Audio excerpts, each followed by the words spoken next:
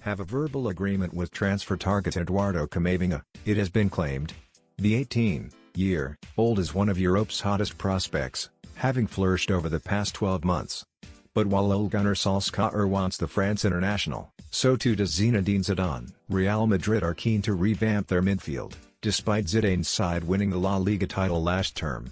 Both Toni Kroos and Luka Modric are approaching the twilight years of their careers, with the duo both aged 30 and 35 respectively. As a result they're keen on Camavinga. They were strongly linked in the summer transfer window but, with the coronavirus crisis impacting their finances, they opted against a move.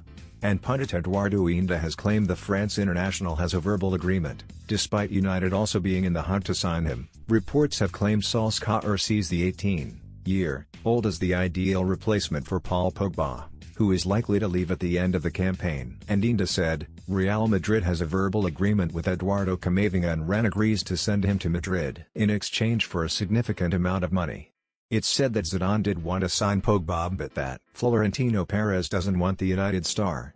That could be because of his agent, Mino Raiola. Raiola has had just client play at the Bernabeu, Alphonse Areola, but that was only a one year loan deal. With Camavinga it's said to be a different story, however. Both Perez and the current Los Blancos star have approved a move for the teenager, believing has got all the attributes needed to be a huge club hit for many years to come.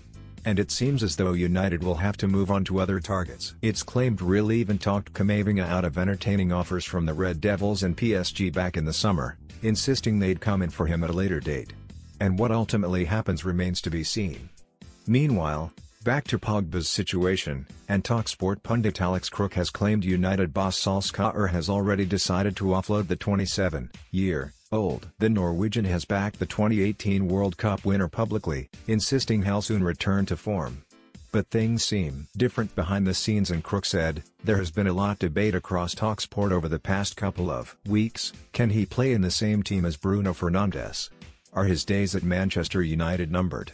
I think they may well be. It's my understanding United plan to cash in on him next summer. They triggered an extra year in his contract, until 2022, earlier this season. But that was as much to protect their sell, on value to stop him leaving on a free transfer. I don't think it necessarily suggests Hess part of their long-term plans.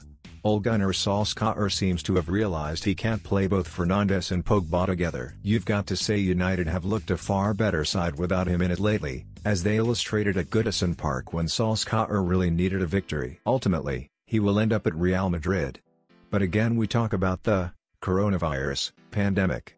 Given his lack of minutes this season and the financial crisis engulfing the whole of football, United may well have to accept a vastly reduced fee than they would have done a couple of years ago.